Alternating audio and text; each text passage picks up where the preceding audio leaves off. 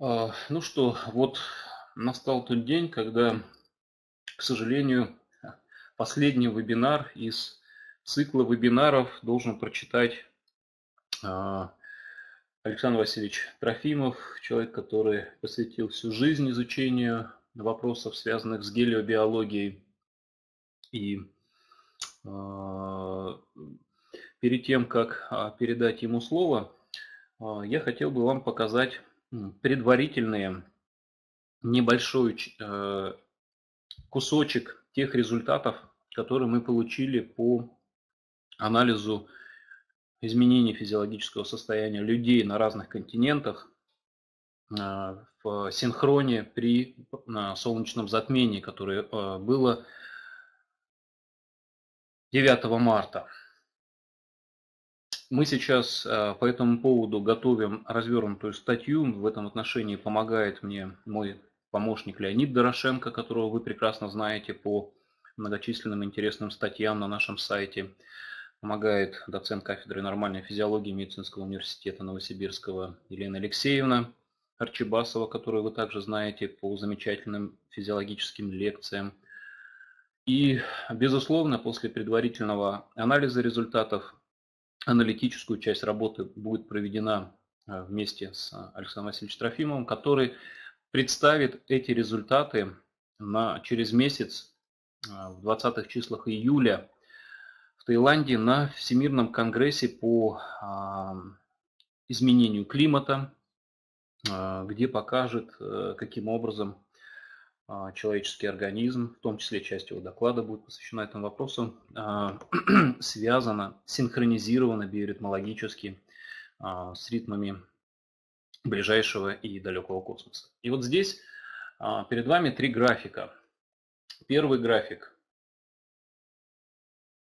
– это график, где по шкале X, по шкале абсцисс, это дни когда проводилось обследование. Вот в течение полумесяца, в две недели мы проводили замеры, в исследовании участвовало более 20 человек из разных стран, те, кто откликнулись. Обратите внимание, а по шкале а, ординат показатель всем вам известный, один из краеугольных показателей, это общая мощность спектра или total power, который фактически отражает количество энергетических ресурсов, которые организму необходимо для поддержания гомеостаза, постоянства внутренней среды в процессе адаптации. И вот посмотрите, примерно за три дня до э, затмения, которое произошло 9 числа, это среднее по группе, которую мы э, обсчитали, происходит снижение общей мощности спектра, то есть ресурсов адаптации, то есть ресурсы задействуются в приспособлении к какому-то макроэкологическому событию, а, достигая своего пика на следующий день а, после затмения. Повторяю, затмение, вот оно приходится примерно вот на а, эту точку. После чего восстановление начинается только через день и назад восстанавливается тот уровень энергетики, который был у людей, только спустя неделю. Вот очень интересное наблюдение, пока еще сложно его трактовать с точки зрения как бы, вот, а, процессов физиологии и всего остального, но факт, пока фиксируем факт. Что происходит одновременно с этими событиями в компонентах солнечного ветра? Второй график. В втором графике также по шкале X у нас а, дни проведения затмения. По шкале ординат это а, выраженность мощности электронной компоненты солнечного ветра. То есть ну, вот количество энергетически заряженных электронов, которые в виде корпускулярных частиц летят а, миллионами тонн на нашу Землю в тот момент, и что происходит в тот момент, когда было солнечное затмение. Обращает внимание, что в период солнечного затмения, интересно, происходит всплеск а, электронной компоненты в диапазоне 2 мегаватт примерно в 10 раз. Причем вот это событие уникальное. А, мы попытались посмотреть, является ли это закономерностью с другими солнечными затмениями. За, за ближайшие три года проанализировали все солнечные затмения и э, не обнаружили. То есть это какая-то аномалия, характерная именно вот для э, этого конкретного солнечного затмения. А, безусловно, вот вещи, связанные с адаптацией по общей мощности спектра, вещи, связанные с резким увеличением доли электронной компоненты в период солнечного затмения 9 марта, это могут быть связанные вещи. И вот на конкретном примере я вам показываю, что ряд параметров, а, они настолько, вот э, в течение всего периода логический параметр, и зеленым цветом показано изменение а, электронной компоненты. Вот он всплеск на уровне 9 марта, который произошел. И ряд параметров, они как бы находятся в десинхронозе. В десинхронозе как бы сложно найти связь.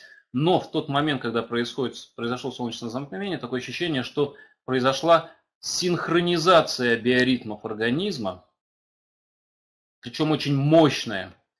Спустя какое-то время, а, получив этот а, синхронизирующий толчок, организм дальше продолжает жить как бы в своей ритмике. Любопытное наблюдение. Я повторяю, что мы это опишем в виде интересной статьи на нашем сайте, добавив ряд моментов с а, пренатальным антогенезом. Это разработки Александра Васильевича непосредственно Трофимова. Посмотрим, есть ли тут импритинг в плане тех событий, которые были в период внутриутробного развития этих 20 людей – и я надеюсь, э, э, эта статья, это исследование получит от вас отклик. Поэтому э, лишний раз вас прошу откликаться на подобного рода призывы с тем, чтобы вот такие исследования не пропускать мимо, а участвовать в них, потому что чем больше людей, тем больше воспроизводимость результатов и точность и достоверность данных, которые мы получаем. Но, безусловно, безусловно, что это требует от вас каких-то ресурсов, а, усилий, и за что мы вам, безусловно, благодарны. Итак, передаю слово Александру Васильевичу. Слушаем внимательно его замечательную лекцию. Как сказал Олег Викторович, мы приходим к некому завершению, которое, я думаю, будет и продолжением. Одно переходит в другое. И вот сейчас в том вступительном слове, который сказал Олег Викторович, мы увидели пример перспективных э, исследований в области космической антропоэкологии. На маленьком примере с большой, э, очень серьезной э, экстраполяцией результатов в космопланетарном масштабе. И сегодняшняя тема этого вебинара посвящена как я уже сказал, перспективам космической антропоэкологии. И мы их видим в оценке всех процессов э, в пространстве Козырева, в пространстве голографической вселенной Козырева. Я хочу еще раз поприветствовать вас, явиться на некоторое время и сказать, что вот мысли о будущем, интеллект и голографическая вселенная Козырева – это та книга, которая осталась научным заветом академика Ольга Петровича Казначеева всем грядущим поколениям исследователей. 7 числа, 7 июня был открыт э, памятник э, Олегу Петровичу Казначееву.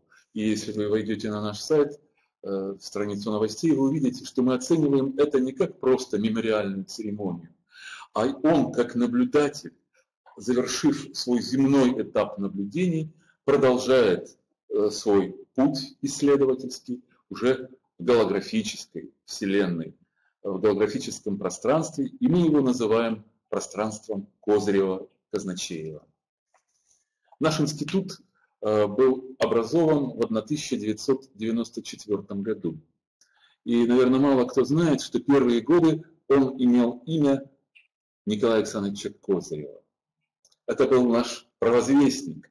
Э, это был провозвестник той серии проектов, которую мы начинали в 1994 году в период приближения к Юпитеру э, кометы Шумейкеров Леви. И в нашем первом выпуске нашего журнала мы говорим о тех новых возможностях в исследовании космического пространства, казалось бы, отдаленных событий, которые можно, открываются с применением того, что мы называем зеркалами Козырева.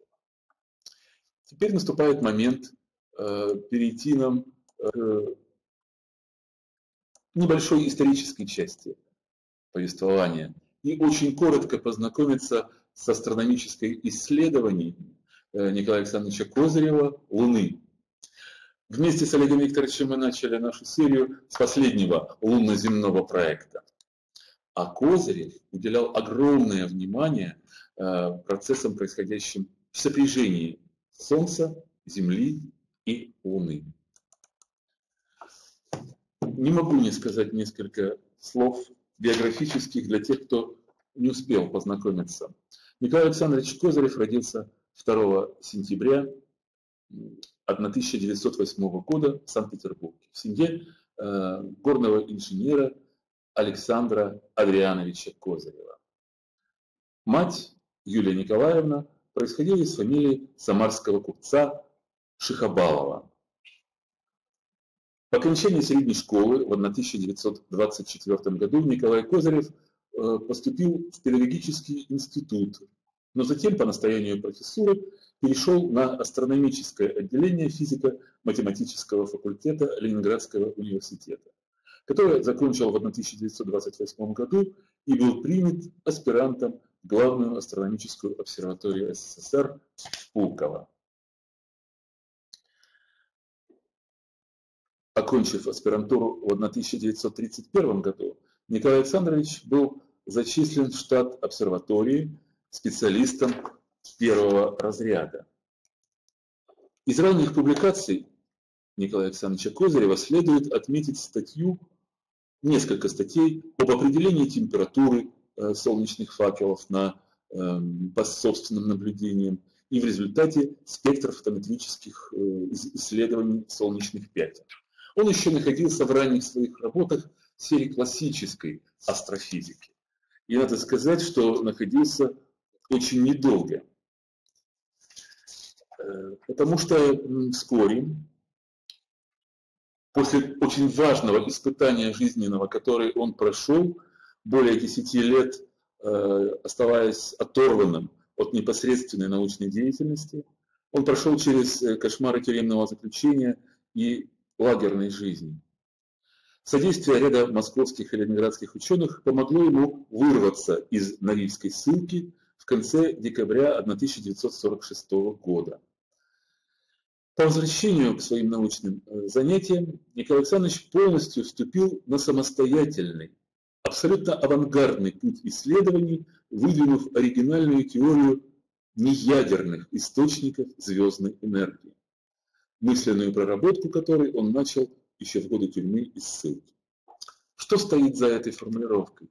Неядерных источников э, звездной энергии. Он считал, что энергия звезд включая наше Солнце, это не только и не столько термоядерные процессы. Потому что если бы это было так, то источники были бы исчерпаны уже многие миллионы лет назад. Однако мы видим другую картину. Он предполагал наличие э, других низкотемпературных источников и предпринял огромную серию, подвижническую серию исследований по выяснению, что же может быть механизмом э, и источником этих низкотемпературных процессов. Свои теоретические исследования он старался подкрепить астрономическими наблюдениями и лабораторными экспериментами.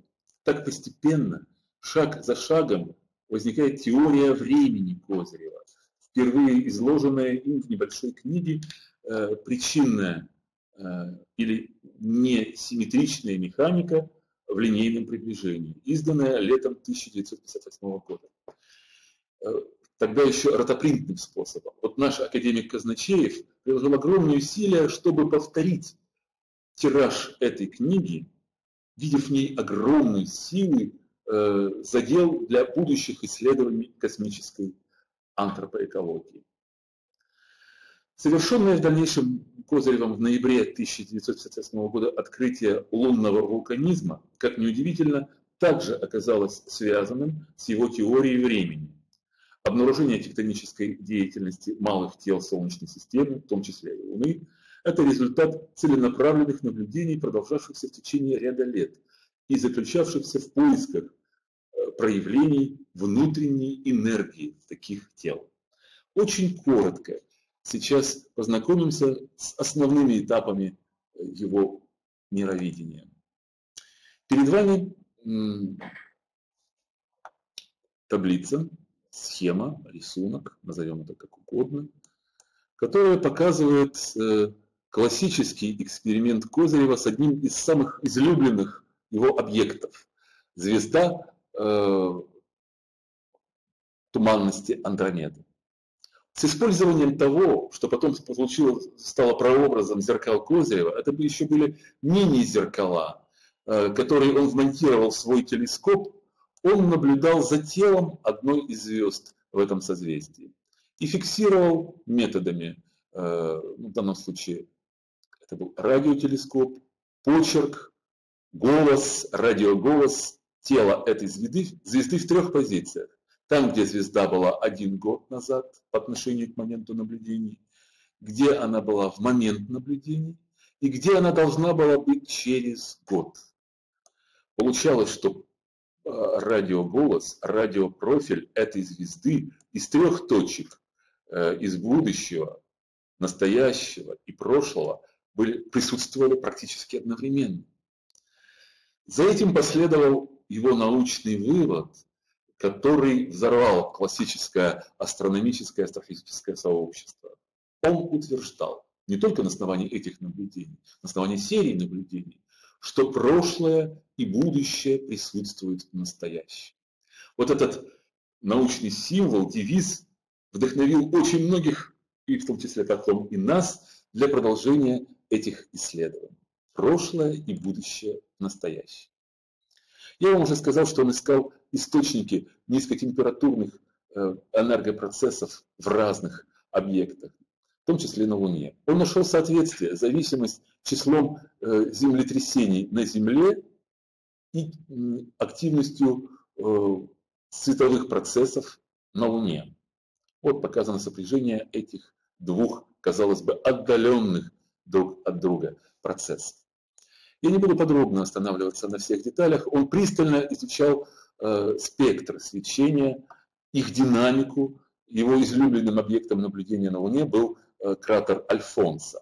Вы здесь видите пример э, полученного спектра э, свечения этого кратера Альфонса на Луне.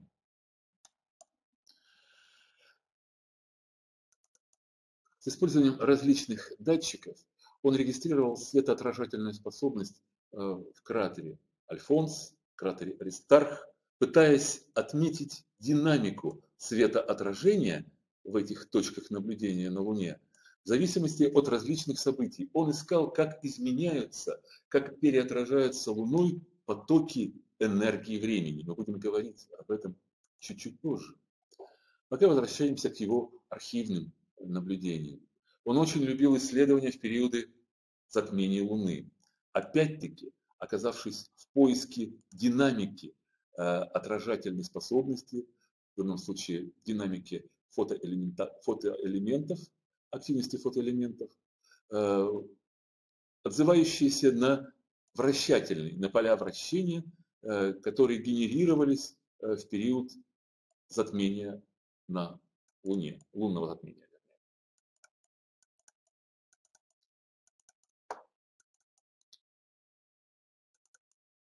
На следующем слайде вы увидите динамику полученную, параметров, полученную с помощью резисторов, оценивающих электропроводность. Это классический его подход при изучении э, потоков энергии времени. Опять-таки, в течение э, очередного лунного затмения, в данном случае затмения 1976 года. 13 мая 1976 года. С использованием другого датчика, этим датчиком э, опять-таки был резистор, он отмечал э, выраженную динамику электропроводности по ходу в различные фазы затмения на Луне.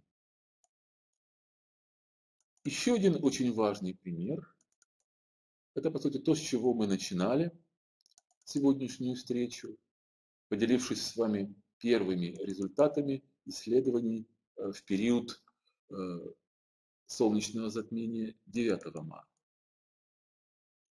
Сейчас мы обратимся к данным Козырева при исследовании солнечного затмения 25 февраля 1971 года.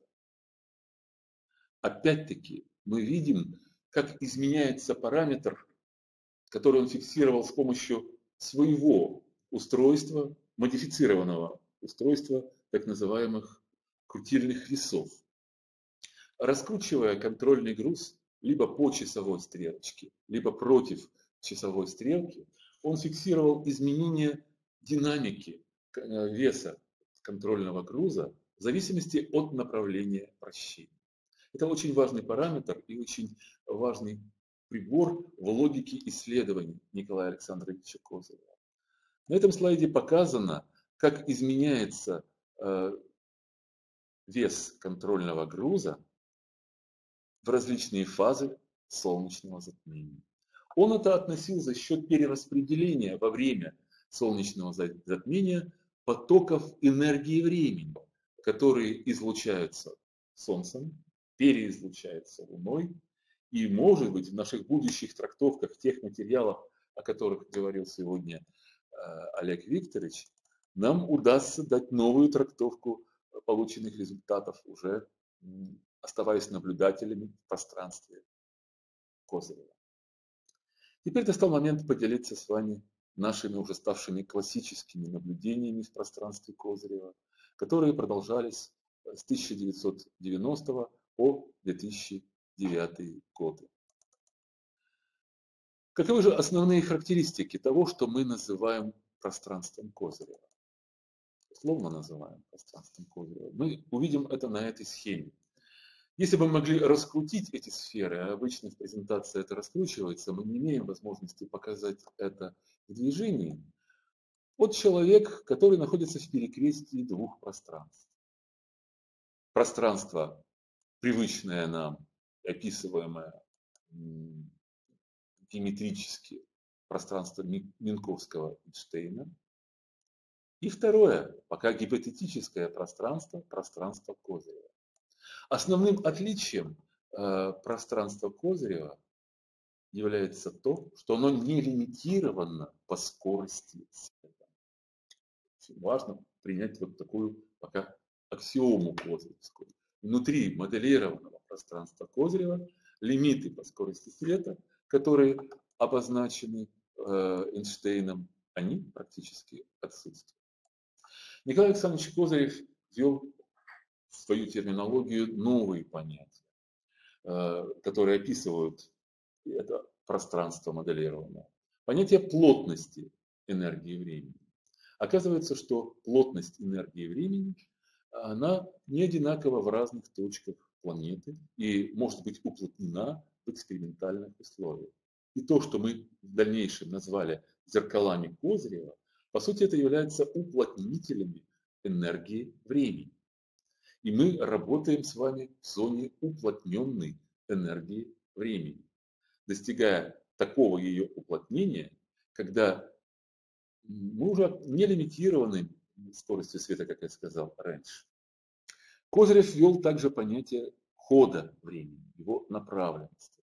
Вот с использованием тех торсионных э, весов, о которых я сказал э, раньше, да, он показал, что увеличение веса контрольного груза крутильных весов, э, связанное с направлением вращения, не регистрируется, когда исследователь оказывается в конкретной географической точке, зоне.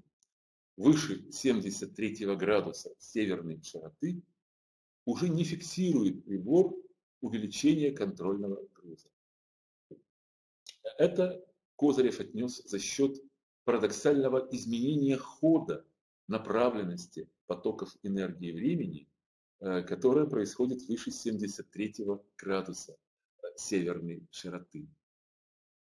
То есть допускается, пока теоретически в его работах допускалась возможность, что в этих зонах причинно-следственные связи между причиной и следствием ослабевают настолько, что следствие может опередить причину.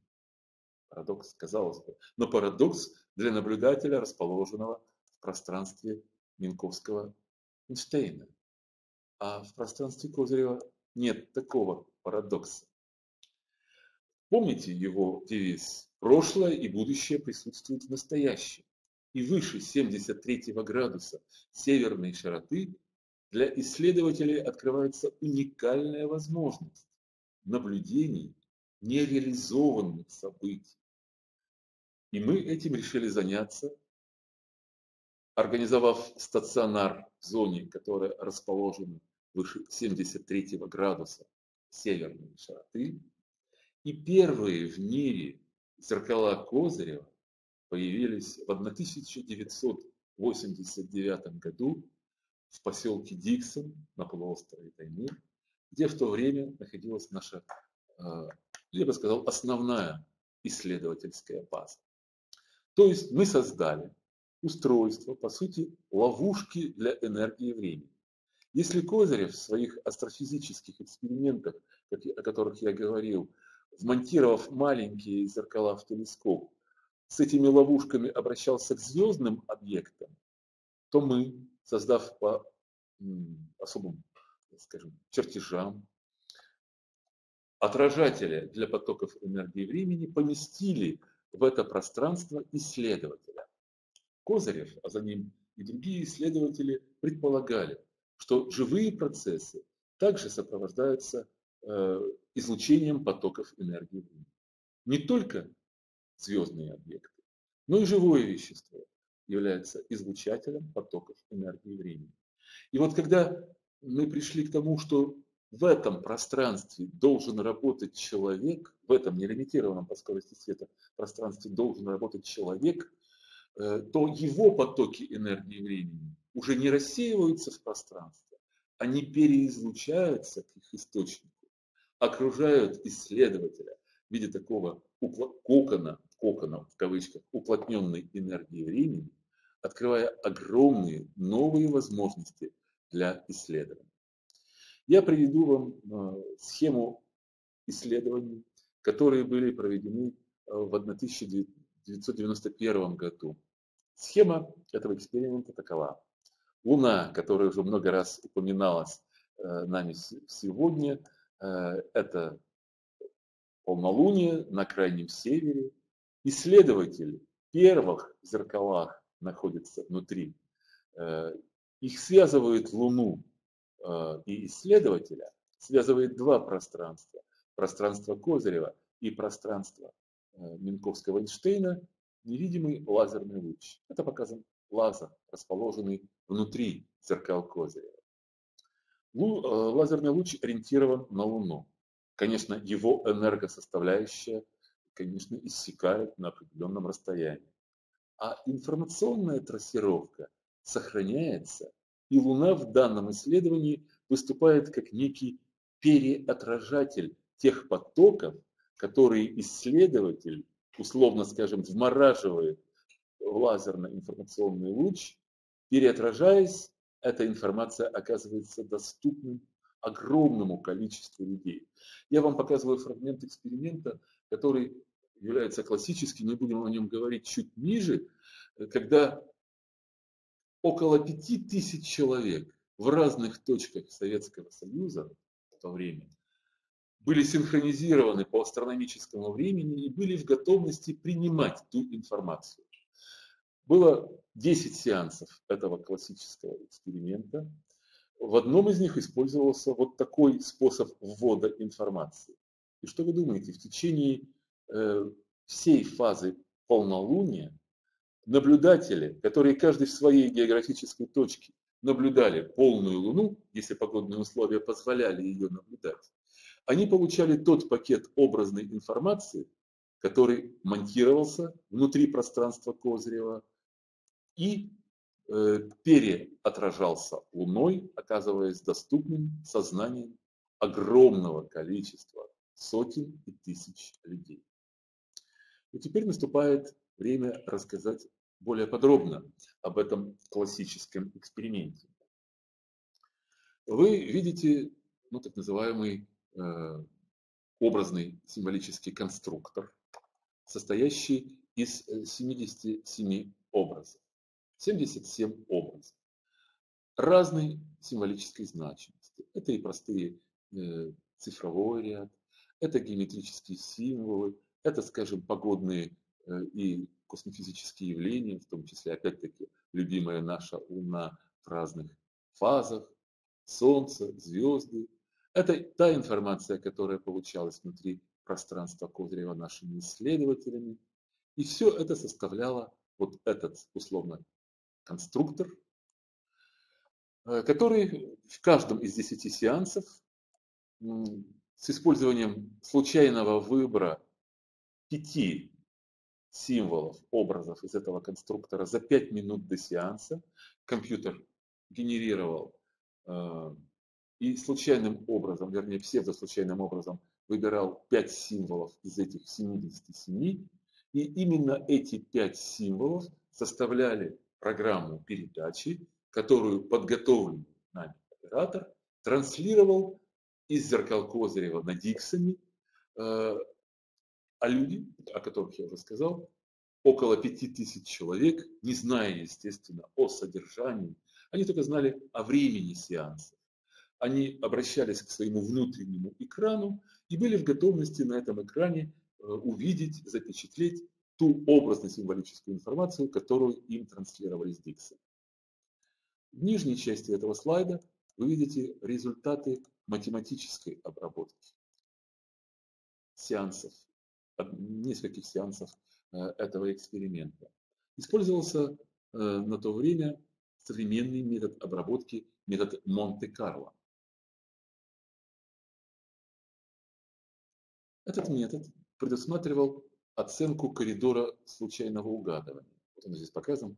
Если бы наши участники глобальных синхронных экспериментов, которые назывались «Северное сияние», «Полярный круг», «Знамя мира», всего было три глобальных эксперимента. Если бы они угадывали, то их результаты были бы в этом коридоре. Но посмотрите, насколько превышен этот коридор. Вот эта картинка она прошла экспертную оценку многих независимых экспертов в мире. Она является первым доказательством связи, трансперсональной связи сознания человека, э, для которого в пространстве Козырева нет лимитов ни по расстоянию, нет лимитов ни по времени. Вот о времени – это особая часть. Нам предстоит поговорить более подробно.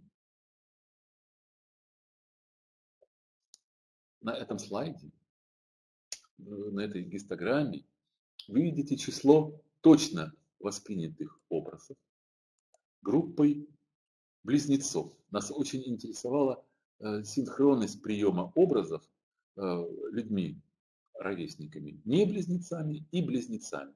И, конечно же, нас интересовало, как изменяется динамика точности восприятия передаваемой образно-символической информации в ходе тех или иных событий.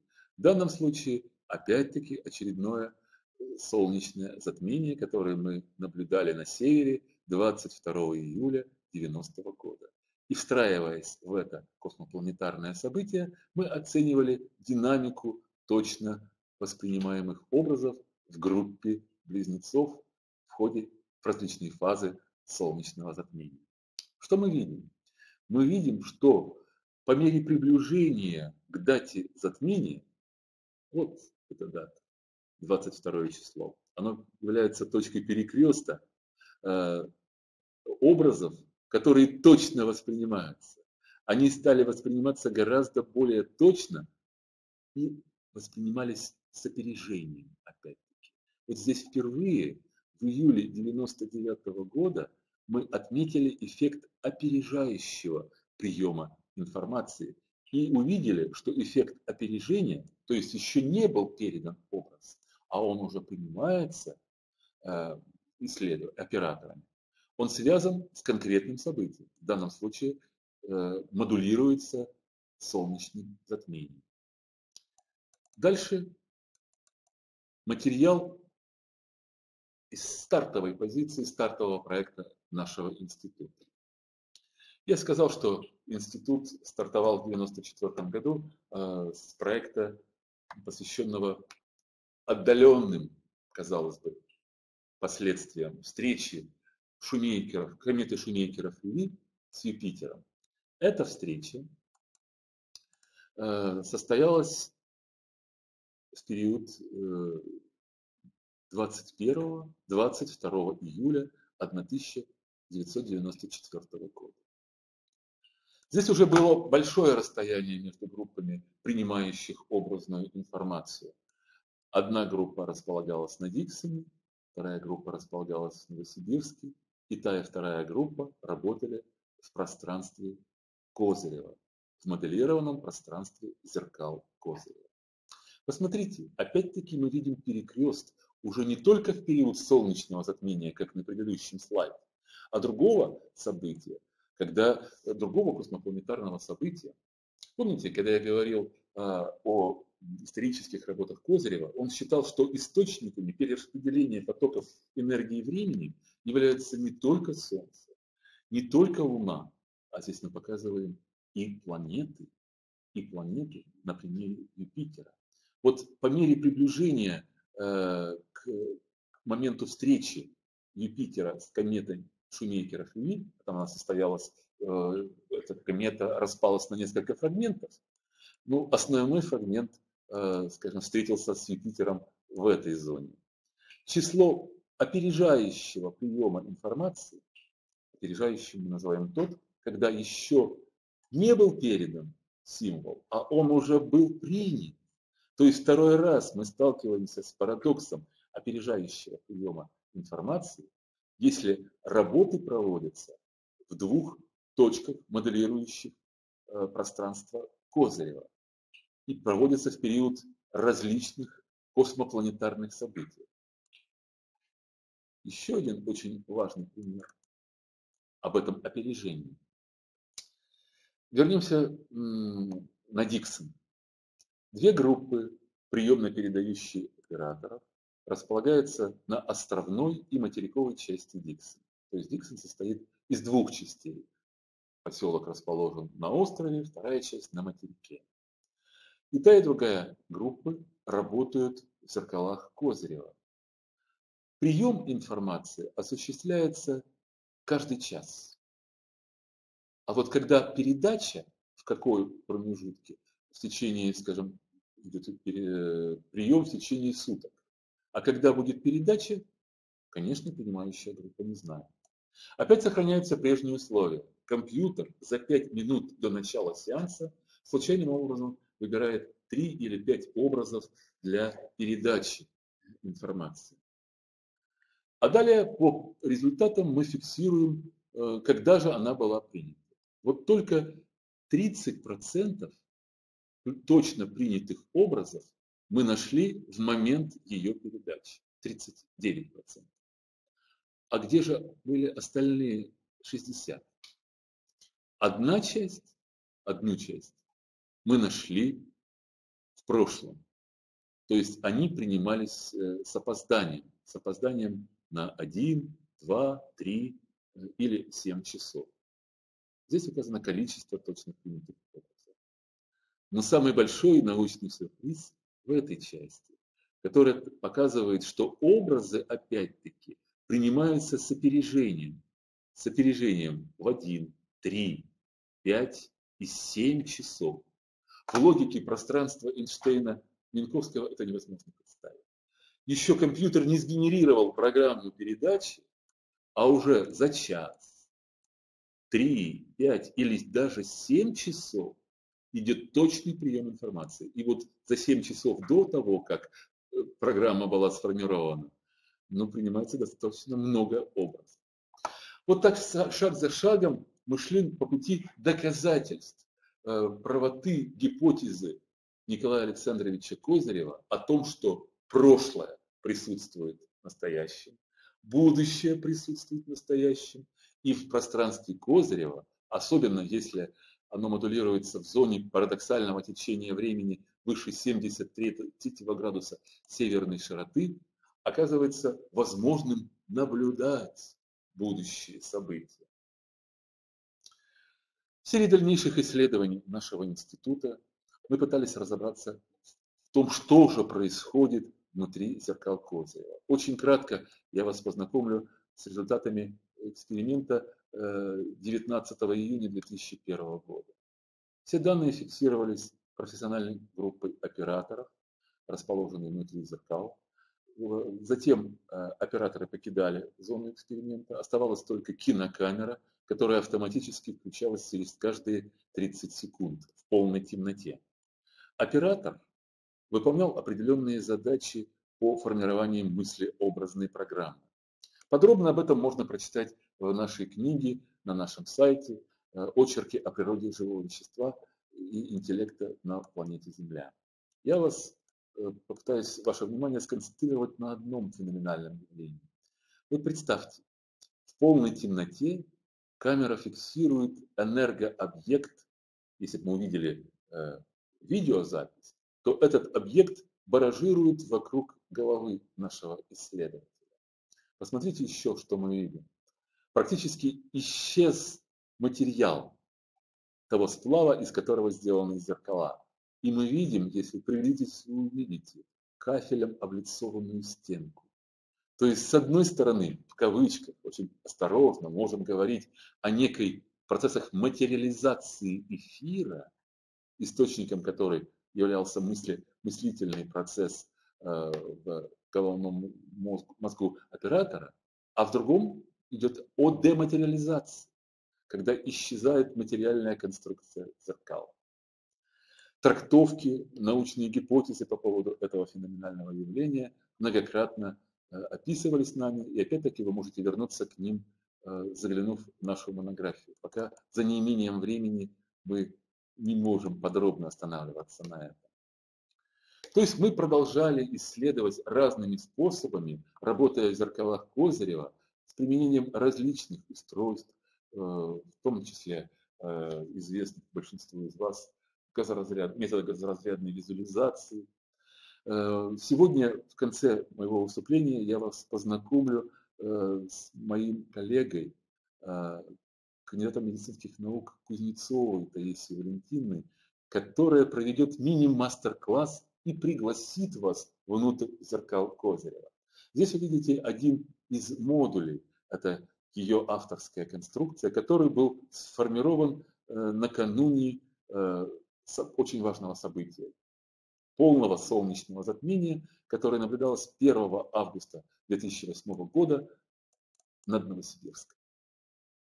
Через 9 дней э, после этого события с использованием специальных голографических фильтров наша фотокамера фиксирует огромное количество объектов, еще мало известных классической науке.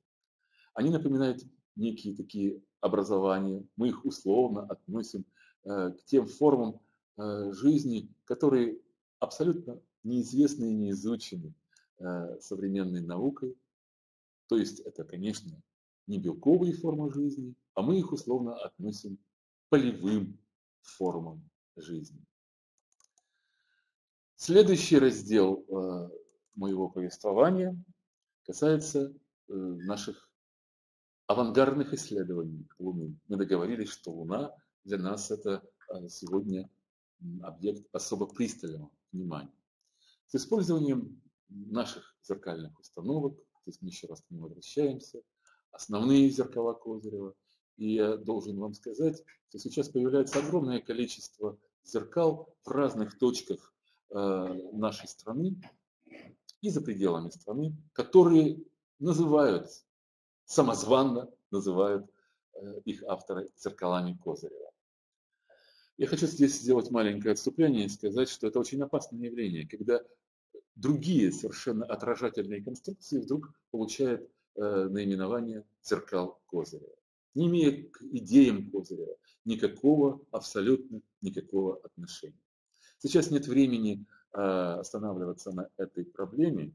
Оставим это на совести исследователей, которые э, идею пространства Козырева, зеркал Козырева используют и, к сожалению, используют в коммерческих целях, не давая, не оставляя должного горизонта для серьезных фундаментальных научных исследований в этом пространстве.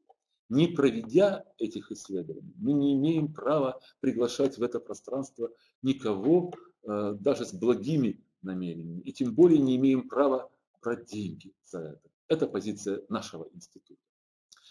Сделав отступление, я возвращаюсь э, к программе своего выступления. Здесь вы видите двух наших исследователей. Э, я уже представил заочно Таисию Валентину Кузнецову и Алексея Мысак, которые были провозвестниками проекта, лунного проекта. Когда мы взялись э, в октябре года за проект виртуальных исследований Луны из нового типа телескопа, так мы условно назовем, э, зеркала Козырева. Теперь мы даем трактовку, что в условиях моделированного пространства Козырева осуществляется с позиции квантовой физики суперпозиция сознания человека или группы исследователей, и в зависимости от точной, точного адресного пункта, эм, в данном случае адресным пунктом была Луна, мы можем дать очень точное описание э, тех объектов, которые наши исследователи наблюдают на Луне. Здесь вы видите э, оригинальные протоколы, их фрагменты, тех объектов, которые исследователи наблюдали на Луне и не только на Луне, а также под ее поверхностью, что для нас особенно важно. Э, и мы проводим здесь некое такое аналогичное сравнительное описание. Если видите реальное фотоизображение, э, нефильтрованное фотоизображение объекта на Луне, вы знаете, что многие изображения были, скажем,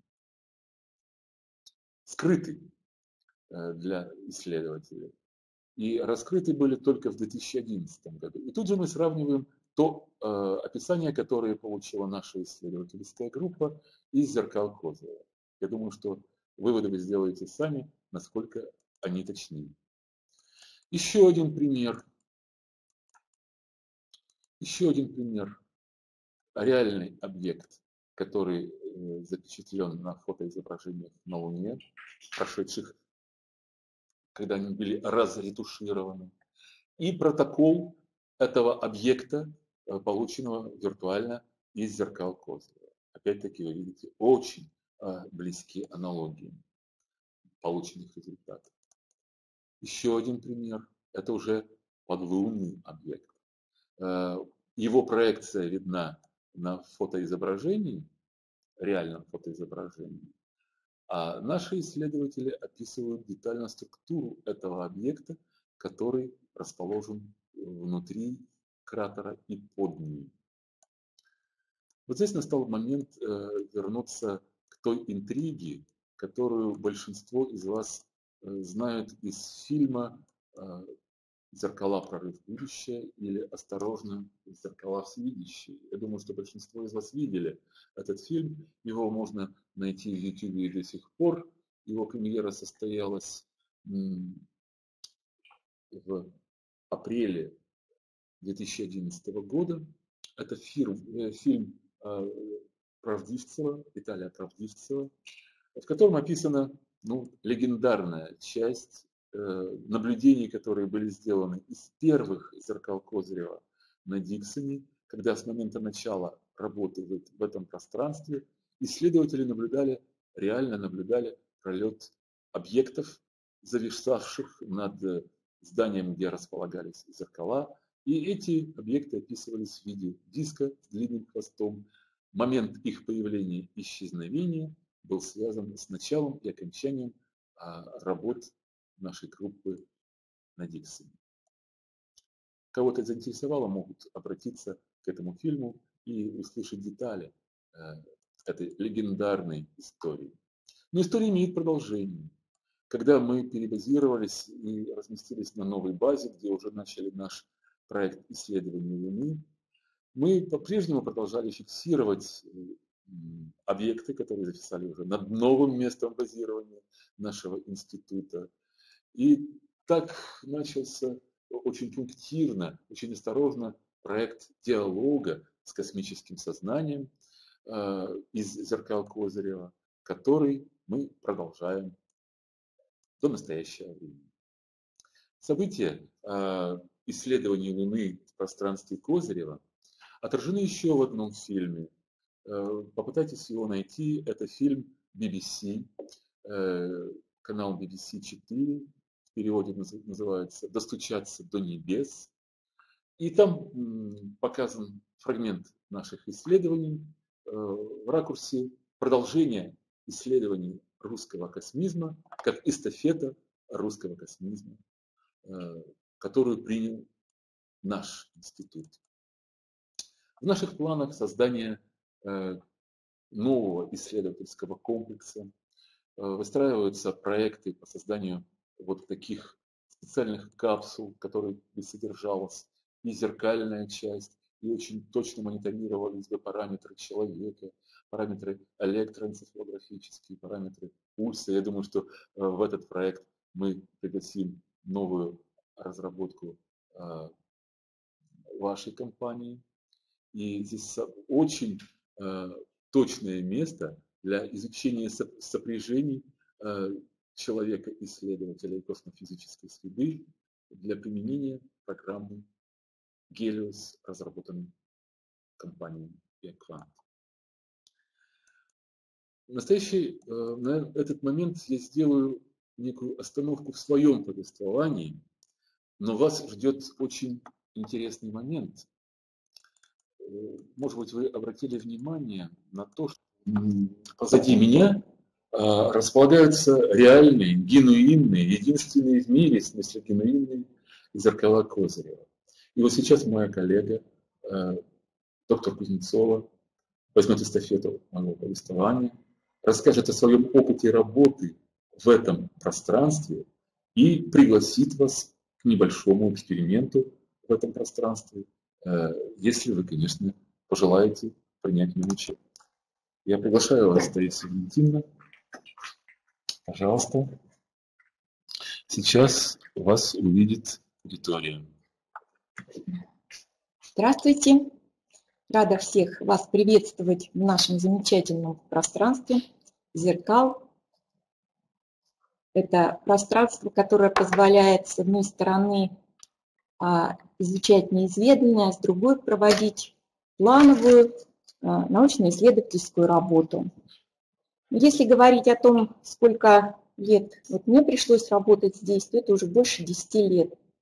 И первая основная как бы, встреча моя с зеркалами произошла э, при участии в проекте Покальватан, э, международный проект, который был посвящен исследованию фактора Майя.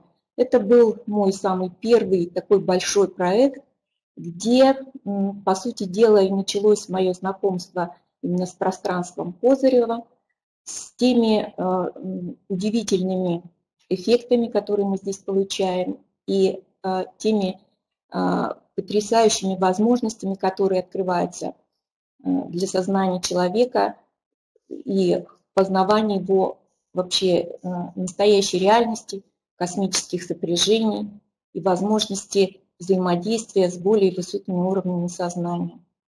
Э, в процессе, э, когда начался проект по Кальватан, я очень многих вещей тогда не знала и не понимала. Вот. Поскольку исследование посвящалось фактору майя, это известная э, как бы, древняя майянская цивилизация, которая значит, ну, определялась роль ее как э, э, в развитии вообще цивилизации на Земле. Вот. Э, я сама тогда в то время вообще очень мало знала, что такое что-то о цивилизации майя и вообще ну, очень многих вещей тогда не знала. И когда во время подготовки к проекту и затем участия, конечно, моему как бы удивлению не было не, не было конца. И, ну, и именно с этого момента а, произошла как бы вот моя, ну что ли, такая любовь к этому пространству, которая продолжается до сих пор и которая не перестает удивлять меня каждый раз какими-то новыми совершенно фактами и возможностями человеческого сознания, коллективного сознания, который в момент каких-то особых космофизических событий таких как затмение Солнца, лунное затмение и так далее, могут получать информацию с различных уголков отдаленных космического, космического пространства. Ну вот сегодня у нас с вами такой может получиться очень интересный небольшой, небольшой эксперимент, исследование.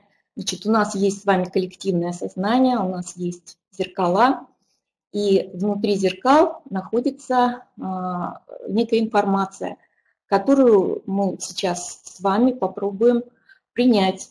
Значит, а, исследование будет проходить следующим образом. Я выдвигаюсь в сторону зеркал, там, где непосредственно находится этот, эта информация.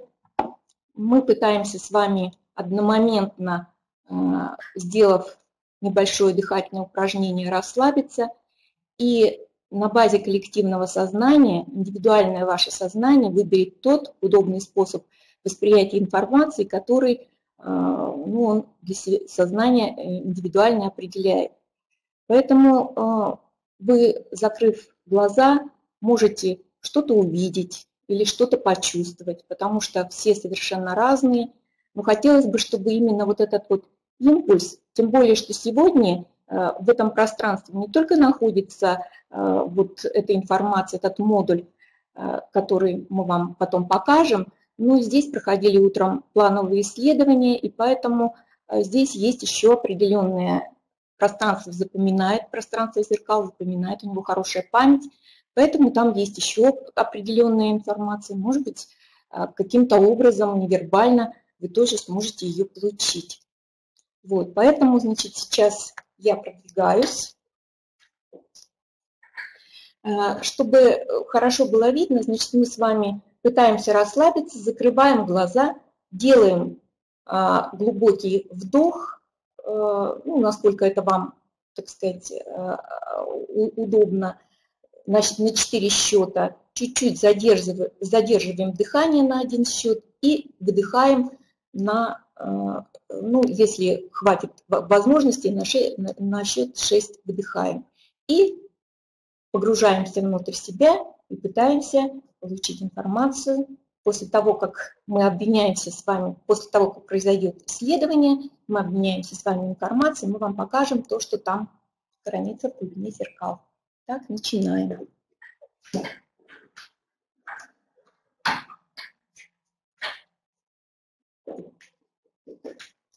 расслабляемся и, расслабляемся и дышим.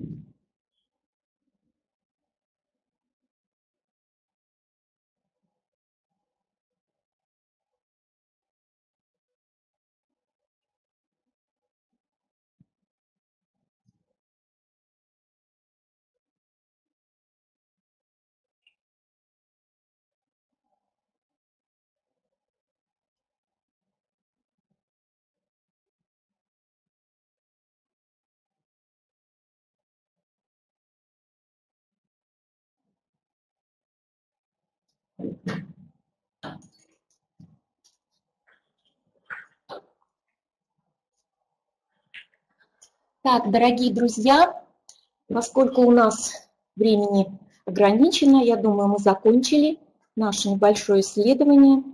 Поэтому, пожалуйста, проходи, приходите в себя, сделайте еще раз глубокий вдох, выдох. И если у кого-то, кто все-таки прошел участие, кто-то что-то, может быть, хочет поделиться своими ощущениями, пожалуйста, мы будем смотреть. А, ну и э, пока мы ждем от вас обратной связи, э, я бы хотела, конечно, продолжить вот про Пакаль-Батан. Это было очень интересное исследование, в котором приняло большое количество людей. Мы только обработали первичных протоколов больше 150 а, с разных уголков а, нашей Земли. Вот, много было участников из России, из Бразилии, из Америки были участники из наших, э, из Ташкента, группа большая была и так далее. И э, что э, как бы показало это исследование, что фактор мая – это никакое не прошлое, что это настоящее, что вот великие навигаторы Вселенной, если вы, у кого-то будет желание, можно прочитать про, этот, про эту цивилизацию и книги известного ученого, исследователя доктора Хосе Эргуэлиса вот, о том, что же, кто же такие майя, э, которые путешествовали по всей Вселенной. Так вот этот фактор показал всем людям, которые принимали э, участие и э, всему коллективному сознанию, каждому участнику показали очень интересные, много очень интересной информации, которая заключалась и в исследованиях, вернее, и в событиях, которые происходили на Земле в разные периоды ее как бы жизнедеятельности и непосредственно какие-то новые были э, а, данные по исследованию само, само, самой цивилизации, самого фактора Майя. Ну и также много участников получили э, возможность как-то соприкоснуться с более высокими уровнями сознания и получить какую-то информацию о цивилизациях с других, будем говорить, э, с других уголков Вселенной. Вот, поэтому о Пакальватане тоже очень много написано, и а, это можно посмотреть и на нашем сайте есть, и а, в других а, то есть в исследованиях, и значит, эту, эту информацию можно получить. Да, и как бы продолжением, на самом деле, вот а, майянская группа, люди, которые а, принимают участие в исследованиях Галактического института и Фонда закона времени, они являются постоянными нашими как бы коллегами друзьями, и как бы продолжается вот эта связь, связь э, с теми, кто принимал участие по Кальватане. И вот 11 августа 2015 э, года состоялся очень, очень интересное исследование, которое было посвящено э, такому космофизическому событию, как восход Ориона, который происходит каждый э, год в одно и то же время, 11 августа. Вот. И здесь тоже принимали участие вот, э, участники, те, кто, кто работал при Покальватане. Мы тоже получили очень интересные Э, как бы, данные, а отчет о проведенном исследовании есть у нас на сайте. Поэтому, кому интересно, может э, прочитать. Сейчас уже это, это исследование переведено на английский и на англоязычных сайтах тоже помещено вот такому интересному очень событию в истории нашего института. Темный прямоугольник проблески световых э, точек, прямоугольник, потом столб, темный прямоугольник, э, больше в цветах. Сначала розовый, потом треугольник и пирамиды, потом ром, потом убрали, и все вправо, и стал цвет фиолетовый и сиреневый-фиолетовый. Очень красиво. Вот. А, был не сильный удар по плечу слева.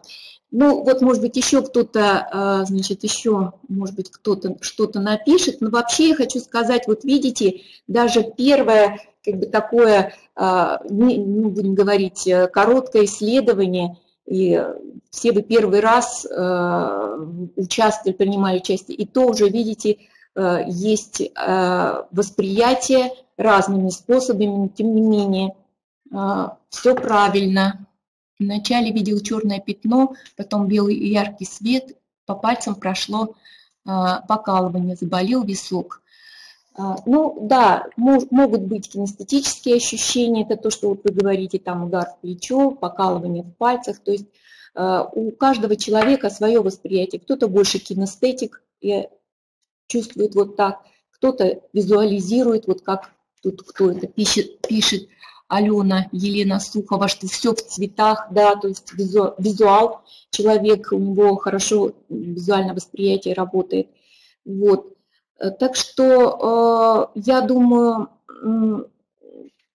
еще, знаете, здесь еще такой момент, что человек должен учиться и план, планомерно, если он хочет как можно больше задействовать каналов восприятия и как можно больше получить информации, но это процесс просто как бы тренировки, постоянной работы. Вот поэтому я могу вас всех поздравить с тем, что вы все-таки сегодня приобщились к пространству зеркал, что вы ощутили это очень, на самом деле, а, ну, как бы мощный фактор для вас, для, вашего, для развития вашего сознания, для ваших дальнейших, ну, в общем-то, познаний самого себя и окружающего мира. Поэтому я думаю, что сейчас наступил тот момент, когда можно показать. Ну что ж, я хочу сказать, что и кто видел треугольники и э, квадраты, они совершенно правы, потому что если вы посмотрите на этот модуль, основное, что здесь есть, это октаэдр, две пирамидки, соединенные друг с другом. Вот. Поэтому и действительно, э, значит, все оказывается правда. Вот, вот так. Ну, я желаю вам еще всего самого хорошего. Прощаюсь с вами. До новых встреч. До свидания. Дорогие друзья, ну, в качестве завершающей части э, не хочется расставаться э, в этой серии встреч, которая была с февраля по июнь. Мы старались почувствовать и передать, вас почувствовать и передать э, вам, ну, самое главное, к чему мы приходили на разных этапах наших исследований. Сегодня мы говорим очень бегло, конечно, о перспективах космической антропоэкологии. Мы видим э, за антропоэкологией, именно космической антропоэкологией, огромное будущее. И очень надеемся, что вот первый экзерсис в виде маленького э, мастер-класса будет иметь продолжение, и мы сможем с вами уже в новом сезоне организовать новые совместные исследования на стыке двух пространств, э, пространств Минковского и Эйнштейна, мы не будем от него отказываться, просто будем иметь в виду, что есть еще и другое пространство Козырева, которое ждет настоящих пытливых исследователей. И я хочу попрощаться, сказать, до свидания, до новых встреч э, в этом пространстве, на новых исследовательских горизонтах, на новых, в новых наших проектов.